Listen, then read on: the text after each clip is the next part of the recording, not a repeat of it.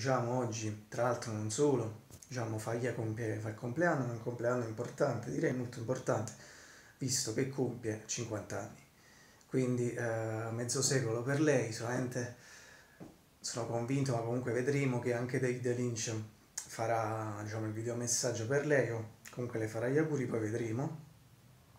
Ovviamente questo argomento è sempre eh, non, cioè, chiaro, meno oscuro e linciano ovviamente.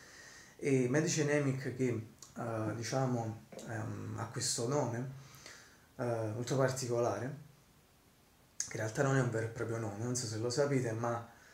è un nome che i genitori le hanno dato, uh, che in tedesco significa ragazza,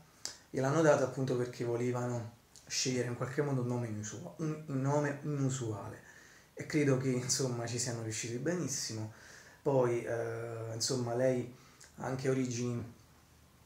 varie origini diciamo quanto riguarda nazionalità, irlandesi, svedesi e anche diciamo altre terre del nord, quindi terre molto particolari diciamo. E a me appunto oltre il fatto del nome che mi ha sempre colpito di questa donna, di questa attrice diciamo, appunto che è molto particolare, anche un'altra cosa che diciamo ho letto, ho letto qualche giorno fa, che appunto uh, lei è stata uh, fin, dall'inizio, no, fin dall'inizio, ma in qualche modo i genitori uh, in qualche modo hanno fatto sì che lei seguisse le proprie inclinazioni artistiche fin da piccola. Infatti prese lezioni di pianoforte, di musica, uh, di danza, varie cose, per poi diciamo uh, trasferirsi in America e lì diciamo ottenere la fortuna che poi ha ottenuto. Uh, cioè questa è una cosa molto importante perché secondo me la questione cioè che i genitori devono far sì che i figli in qualche modo seguino il loro corso, le loro, le loro ispirazioni e senza diciamo appunto prestabilire dei piani ben precisi per loro o, o indirizzarli verso, verso ciò che comunque già hanno fatto nella, nella loro vita, perché la costrizione appunto non fa mai bene. Personalmente l'ho sempre vista, diciamo, questa cosa, quando mi capita di vederla, eh, quando di confrontarmi con certe persone che in qualche modo hanno dei genitori di questo tipo qui, o comunque anche quando si parla con persone eh, un po' più adulte che hanno avuto genitori di questo tipo, poi in qualche modo crescono sempre frustrate. Quindi è sempre bene che diciamo, ehm, in qualche modo, un po' come dice Kyle Gibran, questo grandissimo poeta, diciamo, che in qualche modo i genitori sono come l'arco, perché poi i figli sono le frecce che in qualche modo devono prendere da soli la loro strada.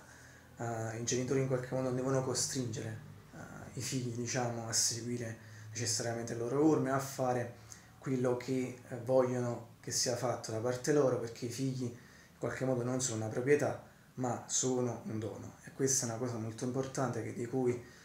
di cui dovremmo sempre farne tesoro e di cui in qualche modo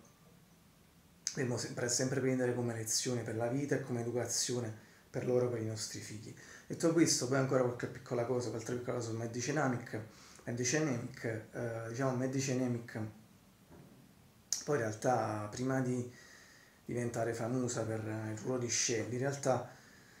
ebbe qualche piccolo ruolo, poi recitò in qualche spot pubblicitario, qualche una piccola parte, diciamo, più o meno nota. In Baywatch per poi appunto essere selezionata, diciamo, da David Lynch appunto per Twin Peaks, pensate un po', c'erano finite le parti un po' per tutti i ruoli, e però lui rimase talmente colpito dal modo della recitazione, comunque anche da altre cose, dalla bellezza di questa donna, che poi le assegnò una parte tutta per lei nuova, che appunto fu la parte, diciamo, di Scegli. E sì, in effetti poi, vabbè, diciamo, altra piccola curiosità, lei è allergica ai gatti, e poi, diciamo, lei in effetti è, insomma, ultima chiusa finale su di lei, è una donna straordinaria, veramente molto bella, personalmente, personalmente diciamo, la metto, uh, per quanto riguarda la bellezza, ma in Twin Peaks anni 90 la metto insomma si giocano le prime posizioni secondo me ehm, una visione personale. Medici Nemic Lara Flynn, Flynn Boyle appunto la nostra donna. Donna e Shelley fondamentalmente per me vabbè ovviamente ci sono anche altre donne bellissime però loro due in qualche modo uh, stanno in un posto un po' privilegiato per quanto mi riguarda e um, insomma sì poi credo che metterò qualche foto sua per quanto riguarda il post di Facebook e vabbè, poi ricorderete quelle parentesi straordinarie nella serie con Gordon Cole, cioè interpretato appunto lo stesso David Lynch, no? Nelle prime due stagioni, vabbè, comunque personaggio bellissimo secondo me. E, appunto io uh, adesso lo mangerò, diciamo, con un brano composto da Angelo Badalamenti e David Lynch che si chiama proprio Shelly, non so se qualcuno lo conosce già, ma è un brano un po' non è molto, molto conosciuto, anche per i linciani parlo Comunque io già feci una versione vecchia qualche mese fa, ma una versione qualche mese fa, adesso la rifaccio, la versione nuova. Spero di averla fatta sicuramente meglio. E detto questo, poi insomma, eh, continuatemi a seguire, diciamo, eh, mettete il mi piace qui per quanto riguarda YouTube, appunto, se volete, eh, iscrivetevi, fatevi semplicemente un giro sul canale e poi